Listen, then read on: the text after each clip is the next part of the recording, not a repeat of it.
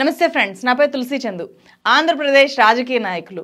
అసెంబ్లీలో తిట్టుకోవడము ప్రెస్ మీట్లలో తిట్టుకోవడము అయిపోయింది. ఆయా పార్టీల యూట్యూబ్ ఛానళ్ళు సోషల్ మీడియాలో తిట్టుకోవడం కూడా అయిపోయింది. ఎలక్షన్స్కి ముందు ఒకేసారి ఎక్కువ మందికి చేరేలాగా తిట్టుకోవాలి అని చెప్పి సినిమాలకు ఎక్కారు ఇప్పుడు సినిమాలతోనే తిట్టుకుంటున్నారు కొట్టుకుంటున్నారు.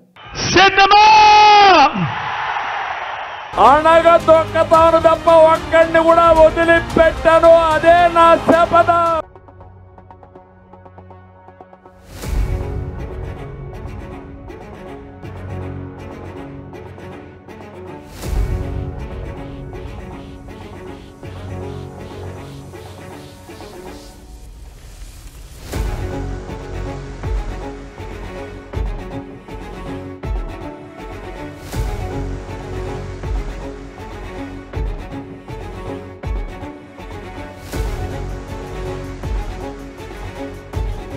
ఆంధ్రప్రదేశ్ ఎలక్షన్స్కి ముందు పొలిటికల్ మూవీస్ బోల్డ్ రిలీజ్ అయ్యాయి. కానీ పొలిటికల్ పుస్తకాలు కూడా అంతే స్థాయిలో రిలీజ్ అయ్యాయి అని చెప్పి తెలుసా? ఆ పుస్తకాల గురించి కూడా ఈ వీడియోలోనే చెప్తాను. మన ఛానల్ని సబ్స్క్రైబ్ చేయకపోతే ఖచ్చితంగా సబ్స్క్రైబ్ చేయండి. ఈ వీడియోని మీరు లైక్ చేస్తే ఇది ఎక్కువ మందికి రికమెండ్ అవుతుంది. అలాగే జాయిన్ బటన్లో ఇప్పటిదాకా మీరు చేరకపోతే చేరండి. కేవలం పబ్లిక్ పర్స్పెక్టివ్ చెప్పే ఒక జెన్యున్ ఛానల్ అని చెప్పి నేను ప్రౌడ్గా చెప్పగలను. కాబట్టి మీరు ఇచ్చే ఏ ఒక్క రూపాయి కూడా వృధా అవ్వదు. రైట్ పర్సన్స్ చేతికి రైట్ వర్క్కి చేరుతుంది. జాయిన్ బటన్ మీద క్లిక్ చేసి సభ్యులుగా చేరండి. మనం విషయంలోకి వెళ్దాం. సూపర్ స్టార్ కృష్ణ ఇందిరాగాంధీ చనిపోయిన తర్వాత కాంగ్రెస్ పార్టీలో చేరారు. అప్పుడు ఉమ్మడి ఆంధ్రప్రదేశ్ ముఖ్యమంత్రి N T Rama Rao. N T Rama Rao Krishna ఇద్దరు కూడా టాప్ హీరోలు మాత్రమే కాదు సినిమా ఇండస్ట్రీలో ప్రత్యర్థులు కూడా అప్పుడు. సూపర్ స్టార్ కృష్ణ కాంగ్రెస్ పార్టీలో చేరాక ఆటోమేటిక్గా రాజకీయ ప్రత్యర్థిగా కూడా మారారు ఎన్టీఆర్కి కాంగ్రెస్లో చేరిన తర్వాత పొలిటికల్గా నాటి సీఎం ఎన్టీ రామారావును టార్గెట్ చేస్తూ వరుసబెట్టి సినిమాలు తీశారు కృష్ణ. అవి నా పేరే ప్రభంజనము మండలాధీశుడు సాహసమే నా ఊపిరి గండిపేట రహస్యము ఈ సినిమాలన్నీ కూడా ఎన్టీఆర్ను విమర్శిస్తూ తీసినవే. ఒక బ్రదర్ ప్రాణం తీయాలనే ఆలోచన మాకెందుకు వస్తుంది? ఎందుకు రాదు? మీకు ఓట్లు వేయలేదని నిరుపేదల గుడిసెలు తగలబెట్టించలేదా? మీ రహస్యాలు బయట పెట్టారని ఒక పాత్రికేయుడిని పట్ట పగల నడివీధిలో చంపించలేదా? మీరు చేస్తున్నదే హత్యా రాజకీయం.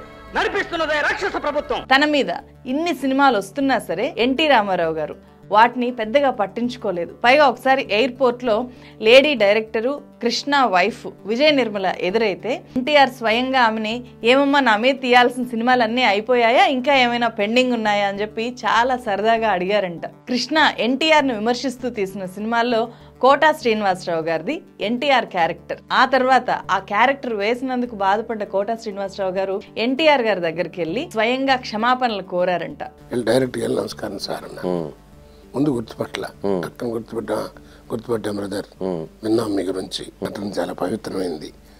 Keep good health. God bless you అన్నాడు. పొలిటికల్ మూవీస్ రెండు రకాలు. ఒకటి ఇమేజ్ పెంచుకోవడానికి తీసే సినిమాలు. రెండు ప్రత్యర్థుల్ని దెబ్బతీయడానికి తీసే సినిమాలు. వైఎస్ రాజశేఖర రెడ్డిని ఎలివేట్ చేసేలాగా తీసిన యాత్ర వన్ కానీ వైఎస్ జగన్మోహన్ రెడ్డిని ఎలివేట్ చేసేలా తీసిన యాత్ర టూ కానీ అలాగే ఎన్టీఆర్ను ఎలివేట్ చేసేలాగా ఆయన బయోపిక్లుగా తీసిన కథానాయకుడు మహానాయకుడు సినిమాలు కానీ ఇవన్నీ కూడా ఒక వ్యక్తి ఇమేజ్ అమాంతం పెంచడానికి ఉద్దేశించి దాని ద్వారా ప్రజల్లో ఆదరణ పెంచుకోవడానికి తీసిన సినిమాలు. తెలంగాణలో కూడా కేసీఆర్కి సంబంధించిన ఒకటి రెండు సినిమాలు రిలీజ్కి సిద్ధమయ్యాయి ఆ తర్వాత కొన్ని ఆగిపోయాయి కూడా. అలాగే మాజీ IPS officer RS Praveen Kumar గారి మీద. ప్రవీణ్ ఐపీఎస్ అనే మూవీ రీసెంట్గా రిలీజ్ అయింది.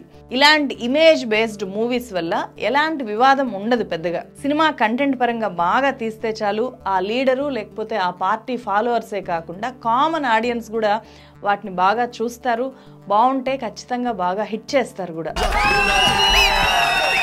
సమస్య ఎప్పుడు రెండో రకం మూవీస్ అయినా పొలిటికల్ మూవీస్తోనే వస్తుంది. ఎందుకంటే ఆ సినిమాల లక్ష్యము ఒకరి ఇమేజ్ని పెంచడం కాదు. ప్రత్యర్థుల ఇమేజ్ని డ్యామేజ్ చేయడం కాబట్టి అక్కడ సమస్య మొదలవుతోంది. ఎందుకంటే లేనిపోనివి కూడా కల్పించి తీస్తారు వాటిని. గోరంతను కొండంత చేసి చూపెడతారు. అబద్ధాలు చెప్తారు అబాండాలు వేస్తారు అవన్నీ కూడా సినిమా రూపంలో నిజంగా జరిగాయి అనేలాగా తీస్తారు. తీసే వాళ్ళకు చూసే వాళ్ళకు ఆ మూవీ ఎవరిని ఉద్దేశించి తీశారు అనేది ఈజీగా అర్థమైపోతుంది. ముఖ్యంగా ఎలక్షన్స్కి ముందు ఇట్లాంటి మూవీస్ ఎక్కువగా రిలీజ్ అవుతున్నాయి అనేది మనం చూస్తున్నాం కదా. ఈ కాంట్రవర్షియల్ మూవీసే వైఎస్ఆర్సీపీ ప్రభుత్వాన్ని జగన్మోహన్ రెడ్డిని టార్గెట్ చేస్తూ తీసిన రాజధాని ఫైల్స్ మూవీ కానీ చంద్రబాబు నాయుడిని పవన్ కళ్యాణ్ని టార్గెట్ చేస్తూ ఆర్జీవి గతంలో తీసిన పవర్ స్టారు అమ్మరాజ్యంలో కడపరెడ్లు లక్ష్మీ సెన్టీఆర్ ఈ సినిమాలు కానీ ఈ ఎన్నికల ముందు కూడా మళ్ళీ వ్యూహము శబదము అని చెప్పి రెండు సినిమాల్ని ఆర్జీవి తీశారు. వ్యూహం మూవీకి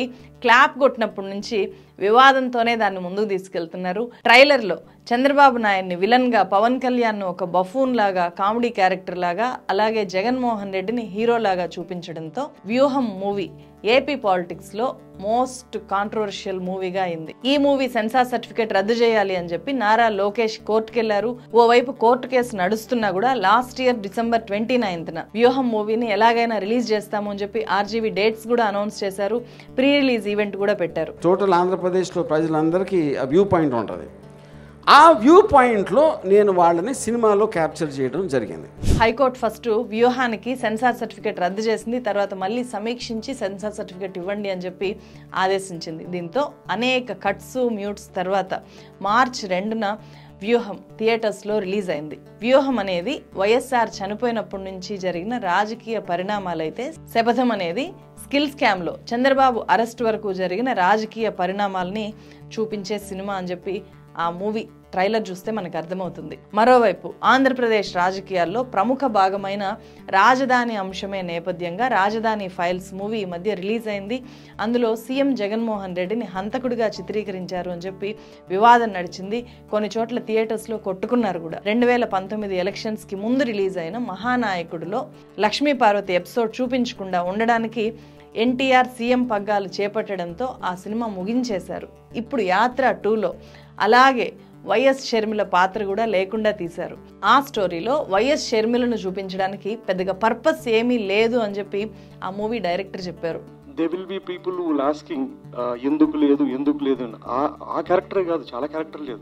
నేను చెప్పే సింపుల్ ఆన్సర్ ఏంటంటే there is no purpose in the story నిజంగా సినిమాలు ఎలక్షన్ ఫలితాల మీద ప్రభావం చూపిస్తాయా అంటే యాత్ర వన్ మూవీ హిట్ అవ్వడము జగన్మోహన్ రెడ్డి అధికారంలోకి రావడము. ఈ రెండు చూసి సినిమాలు చాలా ఎఫెక్ట్ చూపిస్తాయి అనే భావన మన స్టేట్స్లో బాగా పెరిగింది. అందులో కొంత వాస్తవం అయితే ఉండొచ్చు. కానీ సినిమా తీసిన పద్ధతి వాస్తవానికి దగ్గరగా ఉండడం ఎమోషన్స్ పండించడంతో పాటు ప్రజల్లో అప్పటికే క్రియేట్ అయిన వాతావరణం కూడా ఒక సినిమా జయాపజయాల మీద ప్రభావం చూపిస్తుంది అని చెప్పొచ్చు. ఎందుకంటే యాత్ర కంటే ఎక్కువ బడ్జెట్తో కథానాయకుడు మహానాయకుడు సినిమాలు వచ్చాయి. చాలా క్వాలిటీ మూవీస్ కూడా అవి. అయినా సరే పెద్దగా ఆడకపోవడానికి కారణము అప్పుడున్న పొలిటికల్ అట్మాస్ఫియర్ ఏమో అని అనిపిస్తుంది. పొలిటికల్ మూవీస్ ప్రజల మీద ఇంపాక్ట్ చూపిస్తాయి అని చెప్పి అమెరికా డేటన్ యూనివర్సిటీ అధ్యయనం చెప్తోంది ఒసామా బిన్ లాడెన్ను అమెరికన్ బలగాలు అంతం చేసిన తర్వాత అదే స్టోరీ లైన్తో జీరో డార్క్ థర్టీ అనే మూవీ రిలీజ్ అయింది. అలాగే ఇరాన్లో బందీలుగా చిక్కుకున్న అమెరికన్ దౌత్యవేత్తల్ని రక్షించడం అనే సబ్జెక్ట్ మీద తీసిన ఆర్గో సినిమా ఈ రెండు కూడా కొంతమంది యువతి యువకులకు చూపించి ఆ ప్రయోగం చేశారు. ఈ సినిమాలు చూసిన తర్వాత నాటి ప్రభుత్వం మీద అప్పటిదాకా వాళ్ళలో ఉన్న అభిప్రాయాలు మారాయి అనే విషయాన్ని గమనించారు. ఇరవై నుంచి ఇరవై ఐదు శాతం మంది ప్రభుత్వం మీద మా అభిప్రాయం మారింది ప్రభుత్వం మీద మా విశ్వాసం పెరిగింది అని చెప్పి చెప్పారు. అయితే మన దేశంలో ఎలక్షన్స్కి ముందు పొలిటికల్ మూవీస్ తీసే ట్రెండ్ ఇప్పటిదేం కాదు. ఇందిరాగాంధీ పాలనను తీవ్రంగా విమర్శిస్తూ ఎమర్జెన్సీ రోజుల్లో కిస్సా కుర్సీకా అనే బాలీవుడ్ మూవీ తీశారు. అప్పుడు కాంగ్రెస్ పార్టీకి రిజైన్ చేసి బయటకు వచ్చేసిన ఎంపీ అమృత్ నహట ఈ సినిమాని నైన్టీన్ సెవెంటీ ఫైవ్లో ప్రొడ్యూస్ చేశారు. అవినీతిపరుడైన ఒక రాజకీయ నాయకుడి చుట్టూ ఈ సినిమా తిరుగుతుంది. అరాచకం రాజ్యం వెళ్తున్నప్పుడు ప్రజలది మౌన ప్రేక్షక పాత్ర అని చెప్పి సింబాలిక్గా ఉండడానికి షబానా అజ్మీని మూగా చెవిటి పాత్రల్లో ఈ మూవీలో చూపిస్తారు. ఈ సినిమా ఇందిరాగాంధీ రెండో కొడుకు సంజయ్ గాంధీ తీరును టార్గెట్ చేస్తూ తీశారు. అందులోనూ ఎమర్జెన్సీ టైం కావడం వల్ల ఈ మూవీకి సెన్సార్ అనుమతి రాలేదు సెన్సార్ సర్టిఫికేట్ ఇవ్వలేదు. ఈ కిస్సా కుర్సీకా సినిమా అప్పటి కేంద్ర ప్రభుత్వాన్ని ఎంతగా ఇబ్బంది పెట్టింది అంటే సంజయ్ గాంధీ ఏకంగా ఆ మూవీ రీళ్ళను తగలబెట్టేశారు. దీంతో ఆయన మీద కేసు నమోదైంది. ఆ కేసులో సంజయ్ గాంధీకి జైలు శిక్ష కూడా పడింది. ఎమర్జెన్సీ తర్వాత మూవీ ప్రొడ్యూసర్ అమృత్ నహట జనతా పార్టీలో చేరారు. ఆ తర్వాత సినిమా మొత్తాన్ని అంతకు ముందు ఎలాగైతే తీశారో సేమ్ అలాగే అదే నటీనటులతో మళ్ళీ రీషూట్ చేసి ప్రేక్షకుల్ని మెప్పించేలాగా రిలీజ్ చేశారు. అది పెద్ద హిట్ అయింది. స్వాతంత్రం వచ్చిన తర్వాత జాతీయ స్థాయిలో తీవ్ర వివాదాస్పదంగా పెద్ద చర్చనీయాంశంగా మారిన సినిమా ఈ కిస్సా కుర్సీకా. ఇదే అప్పట్లో అలా వివాదాస్పదమైన ఫస్ట్ మూవీగా చెప్పొచ్చు. యూట్యూబ్లో హిందీ క్లాసిక్స్ అనే యూట్యూబ్ ఛానల్లో ఈ మూవీ ఇప్పటికీ ఉంది. ఆసక్తి ఉన్న వాళ్ళు ఒకసారి చూడండి. అలాగే తమిళనాడులో ఎంజీఆర్ కరుణానిధి మీద వచ్చిన ఇద్దరు మూవీని కూడా ప్రజలు బాగా ఆదరించారు. ఆ మూవీ ఇప్పటికీ ఎన్నిసార్లు చూసినా చాలా ఆసక్తికరంగా అనిపిస్తుంది. రీసెంట్ డేస్లో అయితే ఎక్కువగా ఎలక్షన్స్ని దృష్టిలో పెట్టుకొని మూవీస్ తీసుకొని వస్తున్నారు. అంటే ఖచ్చితమైన రాజకీయ ప్రయోజనాల కోసమే చాలా సినిమాల్ని తెర మీదకి తీసుకొని వస్తున్నారు. కానీ అవన్నీ ప్రేక్షకుల్ని మెప్పించట్లేదు. టూ థౌజండ్ నైన్టీన్ ఎలక్షన్స్ టైంలో ప్రధాని నరేంద్ర మోదీ మీద వివేక్ ఒబెరాయ్ తీసిన బయోపిక్ రిలీజ్ చేయడానికి ట్రై చేశారు. కోర్టు అడ్డంకుల వల్ల ఎన్నికల తర్వాత ఆ మూవీ రిలీజ్ అయింది. కానీ పెద్దగా ఆడలేదు. టూ థౌజండ్ నైన్టీన్లోనే మాజీ ప్రధానమంత్రి మన్మోహన్ సింగ్ను టార్గెట్ చేస్తూ అనుపమ్ ఖేర్ లీడ్ రోల్లో ది యాక్సిడెంటల్ ప్రైమ్ మినిస్టర్ అనే మూవీని రిలీజ్ చేశారు. అది కూడా ఎప్పుడు వచ్చిందో తెలియదు ఎవరికి ఎప్పుడు వెళ్ళిపోయిందో కూడా ఎవరికి తెలియదు వాజ్పేయి జయలలిత ఎన్టీఆర్ బాల్ ఠాక్రే ఇలా అత్యంత ప్రజాదరణ ఉన్న నాయకుల మీద బయోపిక్లు తీసినా కూడా అవి ప్రేక్షకుల్ని పెద్దగా మెప్పించలేదు. స్టార్టింగ్లో బుక్స్ గురించి చెప్పా కదా ఈసారి ఎలక్షన్స్కి ముందు పోటా పోటీగా పొలిటికల్ సినిమాలే కాదు పొలిటికల్ పుస్తకాలు కూడా వచ్చాయి అని చెప్పి సీనియర్ జర్నలిస్టు జగన్మోహన్ రెడ్డి ప్రభుత్వంలో సలహాదారుగా ఉన్న దేవులపల్లి అమర్ మూడు దారులు అనే పుస్తకం రాశారు. ఈ మధ్య అది రిలీజ్ అయింది. ఏపీ రాజకీయాల్లో ముగ్గురు సీఎంలు అంటే వైఎస్ఆర్ చంద్రబాబు నాయుడు జగన్మోహన్ రెడ్డి ఈ ముగ్గురు రాజకీయంగా అలాగే సీఎం స్థాయికి ఎట్లా ఎదిగారు ఆ ఎదిగిన తీరునే మూడు దారులు పేరుతో ఈ పుస్తకంలో అమర్ గారు విశ్లేషించారు. జగన్మోహన్ రెడ్డి ప్రభుత్వంలో సలహాదారుగా పనిచేసిన జర్నలిస్ట్ కాబట్టి వైఎస్ఆర్ వైఎస్ జగన్మోహన్ రెడ్డిలకు అనుకూలంగా చంద్రబాబు నాయుడిని విమర్శిస్తూ ఈ పుస్తకం ఉంది అనే అభిప్రాయాలు ఉన్నాయి దీని మీద. చంద్రబాబు నాయుడు టీడీపీ పగ్గాలు చేపట్టిన తర్వాత మరో పార్టీతో పొత్తు లేకుండా ఎప్పుడూ విజయం సాధించలేకపోయారు అనే విషయాన్ని ఈ బుక్లో రచయిత హైలైట్ చేశారు. ఇక రెండో పొలిటికల్ పుస్తకము జర్నలిస్ట్ ఆలపాటి సురేష్ రచించిన విధ్వంసం అనే పుస్తకం.